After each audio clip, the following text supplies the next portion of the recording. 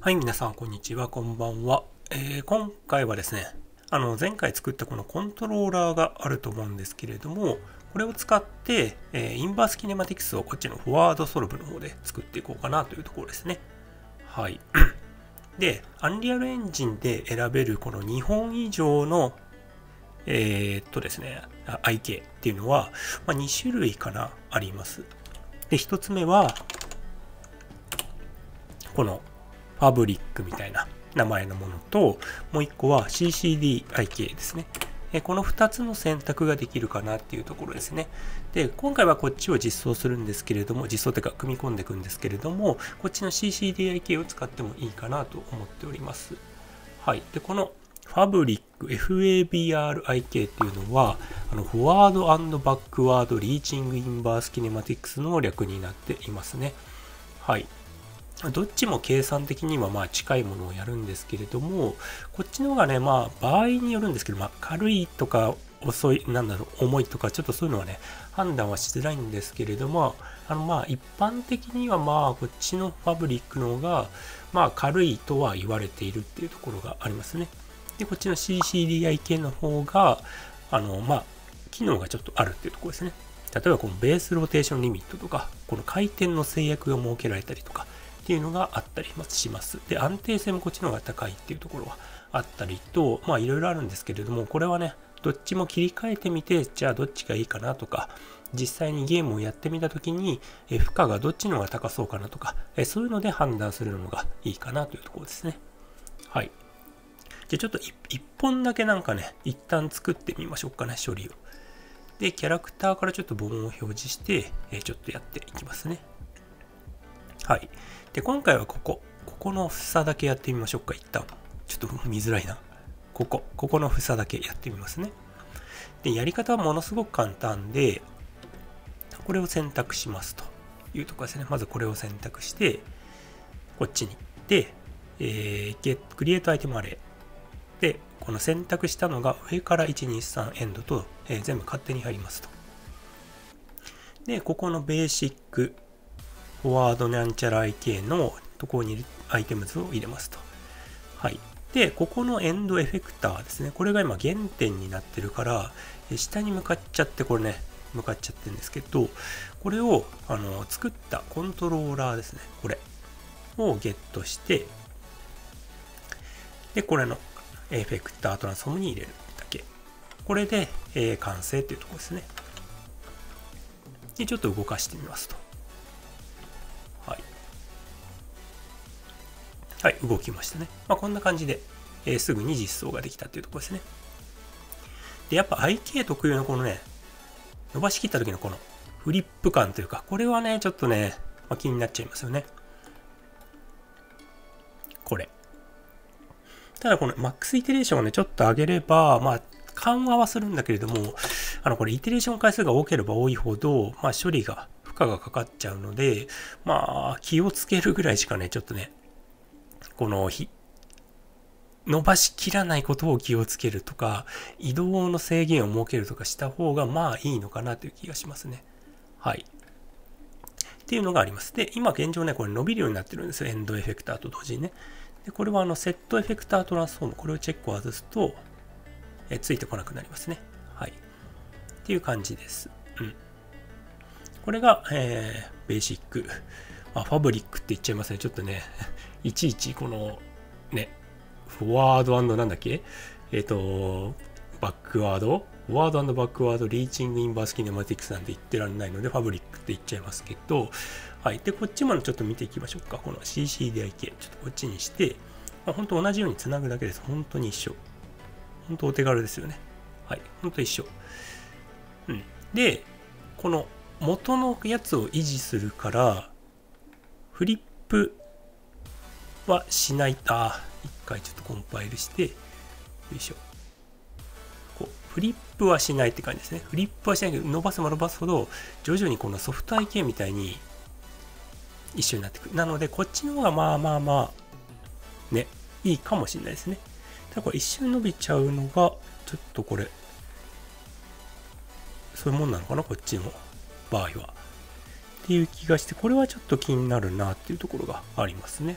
はい、なのでちょっと処理は違うけど、なんかちょっと、このエンドエフェクターのこのコントロール、セットエフェクタートランスフォームがあるないっていうのがちょっと気になるので、気になる方はこのね、あの、変えてもらった方がいいですね。このエンドのやつは、なんかこのボーンじゃなくて、他の何か、仮想ボーンとかでやった方がもしかしたらいいかもしれないですね。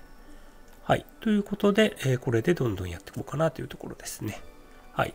ただ、え今回はファブリックの方でちょっとやっていこうかなというところですね。はい。はい。ってやっていくんですけれども、はい。これもね、まあ、本当に簡単で、ベースがこれ分かっちゃえばもうね、あとはね、繋いでいくだけなので、はい。ちょっとどんどんやっていきますね。で、まず1回全部消して、はい。で、スカートルートによって ここ、ここによって、この親のこの黄緑のコントローラーが一緒に動かされるようにしたいので、ここ。ここをちょっとね、セットコントロールして、で、スカートルート。こちらをゲットして、で、トランスフォームに入れますと。で、一旦これで。で、こうすると、元のキャラ、この本体が動いた時に、これも、このコントローラー全体が一緒についていくようになりましたというところですね。はい。で、次。で、この子供たちによって、この骨たち、この子たちを動かしたいっていうのがありますね。ちょっとこれをやりますというところなんですけど、このスカートルートっていう命名をちょっとね、結構使いたいから、今回はちょっとアイテム、まあ、使いたいというか、このスカートルートを使ってまた子供を取ってっていうのをやっていきたいので、一旦ここ、アイテムをこうしてやって、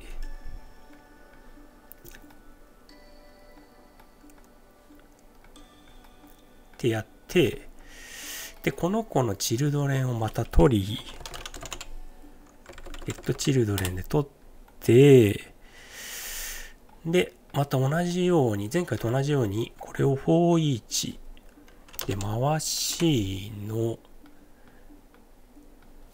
で、さらにこの、今これの状態でスカートルートの、えっ、ー、と、この層が取れましてね、前回と一緒です。で、また getChildren によって、えー、子供たちをリカーシブで取って、で、ここでアットのマイナス1でまた根元を取りますというところですね。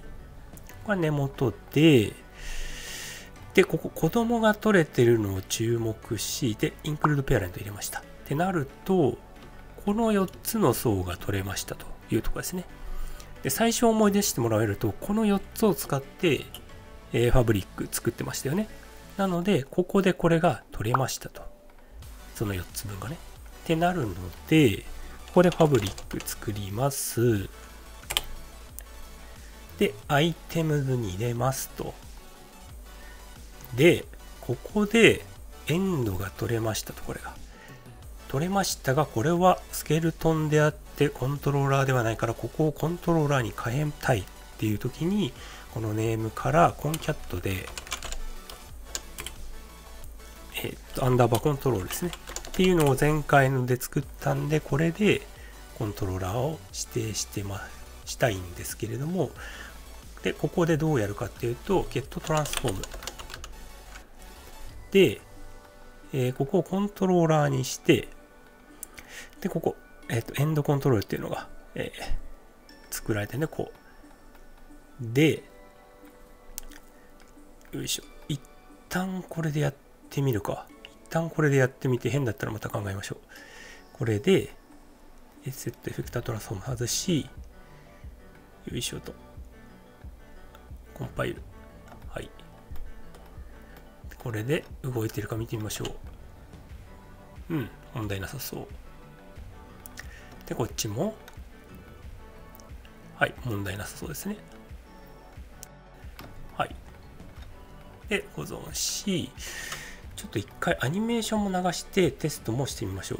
やっぱね、これアニメーション流してると原点だからうまくいってるだけであって、アニメーション流すとね、あれなんかうまくね、飛んじゃったなみたいなことって結構あるんですよ。なのでちょっとそれをやってみます。よいしょ。あ、流れてるかな？ちょっと時間かかりますね。はい。で一緒についてきてますよね。なので大丈夫そうだなっていうのがこれでわかるかな。うん。でこの子も動く。ちゃんと動けば OK ちゃんと動いて一緒にアニメーションする。ってなってるから大丈夫そうって感じですね。もうもちょっと外します、っとねスカートの中見えちゃうとあれなんではい大丈夫そうですねっていう感じで一応ねアニメーションもチェックしてこのこの子がね原点から離れた時に問題なく動いてるかどうかその置いてけぼりにならないかとかっていうのも含めてチェックした方が、えー、いいですねじゃないとね、やっぱね、あれ違ったとか、あれうまくいってないなっていうのがね、あるので、まあ、ここはセットでね、チェックしておくような方が、えー、大事ですね。はい。ま、そんな感じかな。で、プラスちょっと、そうだな、一応この CCDIK の方も、まあ見るだけ見てみましょうかね。切り替えて、ほんとね、切り替えるだけなんで。で、こうした時に、あの、すごい便利なのが、スイッチですね。スイッチっていうのがノードがあって、これセレクター使えるんですよ。で、何かっていう、こうエグゼキュート入れて、例えば0番の時はファブリックにしよう。で、1番の時は CCDIK にしよう。っていう時にこう1番ってしますね。で、で、で、で、で、で、ここで、えー、フェクタートランスフォームと、こっちのアイテムズですね。わお。アイテムズ。ここはこれに入れますと。いうので、これだけでもう切り替えができると。はい、大変素晴らしいですね。っていう感じです。で、コンパイルをして、で、今の現状は、よいしょと、こうしたときに、えー、動いてない、このセこれ、このオンオフで変わるんですけど、ちょっと、よいしょ。はい。で、ついてこないですね。あ、そうだ、ジョイントが見えないからですね。ちょっとジョイント見えるようにしましょう。ジョイント見えるようにした方が分かりやすい。よいしょ。よいしょい。こうするとついてくる。ついてこない、ついてくる、ついてこない。で、こっち0番になってるの分かりますよね？この0番っていうのはここ。えー、ファブリック IK が使われてること。ここ1に変えますと。1に変えるとこう CCDIK になりましたと。見てもらった方がいいかな。0、1でこの白い線が切り替わってるのが分かると思うんですけど、こう。で、これで切り替えができてるっていうとこですね。で、このケースにおいては、このエンドジョイントがウェイトにが使われてないんですよね。だから、どっちでもいいんですけど、このエンドジョイントが使われてるケースだと、こう一緒に伸びちゃうと、まあ、困っちゃいますよね。なので、ここはちょっと状況に応じてウェイトの振り分けとかしなきゃダメかもしれないですけど、うんまあ、今回のケースはね、どっちを使っても別にっていうところなんですけど、まあ、安定、このフリップするしないとかを考えると、フリップというか、この IK がビンで伸びちゃうやつ、ビン、これ。これを考慮すると、まあ、今回 CCDIK を選択した方がまあいいのかなというところですね。で、ここで、えー、スタートフロムテールとかで、この元の形を維持するかとかっていうのも、これまっすぐになっちゃうとね、こうね、どっちがとかね、まあ、出てきちゃうんですよね。どっち向きとか出てきちゃうんで、まあ、基本これスタートフロムテールっていう方をチェック入れておいた方がいいかなと思うんですけど、元のこの形状を維持しながらこう、伸ばしきれば切るほどまっすぐになるみたいなのができるので、まあまあ、これはや CCDIK の方がいろいろ機能性的にはいいですよね。ただ、ファブリックはね、あのね、本当にもっと長いやつ、もっとめちゃくちゃ長いやつだと、こっちの方がいいかもしれないですね。プラス、これマルチエフェクターファブリックみたいなのもあって、まあ、エフェクターの数がね、いろいろできるので、うねうねってしたやつはこっちの方が、まあ、面白いというか、まあ、良い結果が得られるかもしれないなというところはあるってところですね。はい。という感じで今回はこの最後にこのベーシックファブリックと CCDIK、これをね、分岐してね、コントロールリーグでね、くっつけるみたいな、えそんなことをやってみましたね。はい。どれもプロシージャルでやったので非常に簡単に見えて、かつこの高機能のね、IK がすでに用意されているので、こうサクッとこうめり込み修正みたいなのができるようになったっていうところがね、非常にいいなっていうところですね。で、 Maya と違ってこう、ね、 for 文みたいなものが、これね、 for 文がね、あの、ノードベースで組めるっていうのがね、え、かなり強みですね。あの、 Maya の場合はこの4を使ってノードを全部用意してからコネクトしないと、あの、ちゃんと計算されないっていうのがあるので、まあそこの差は大きいなという気がしますね。はい。こんな複雑なものでもこんなね、シンプル、シンプルまあ、シンプルだと思うんですよ。これだけね、作ってこれっていうのはね、マヤだったらこれの10倍ぐらいになっちゃうと思うので、はい。この処理がこんなシンプルに組めるのは非常にいいなと思っています。で、このアニメーションプラスにつけてこう動かすだけっていう、こうセカンダリアニメーションだけでこのリグを使うっていうのもね、非常にメリットがあると思っていて、ちょっとめり込み修正したいからコントローラーつけとこうとか、えそういう時にも使えるので、映像の分野でもこの辺はね、え結構使えるなとは思っておりますね。あの全部が全部コントロールリグをつけて、このキャラクター全部をコントロールするためのコントロールリグではなく、めり込み修正とか補正とか、そういった考え方で使うと、コントロールリグがね、もうちょっとね、身近に感じられると思うので、はい、ぜひそういうことでもね、使ってみてもらえればなと思います。はい、今回の動画はこのね、えー、えー、と前回はコントロールリグをこれね、プロシージャーで作ったんですけれども、今回はこのね、えー、とリグそのものの何でしょう、ランタイムな処理を、えー、このプロシージャーで作るっていうのをやってみました。はい、この動画が参考になったらよろしければチャンネル登録や高評価いただけたら嬉しいです。はい、それではまた次回の動画でお会いしましょう。バイバーイ。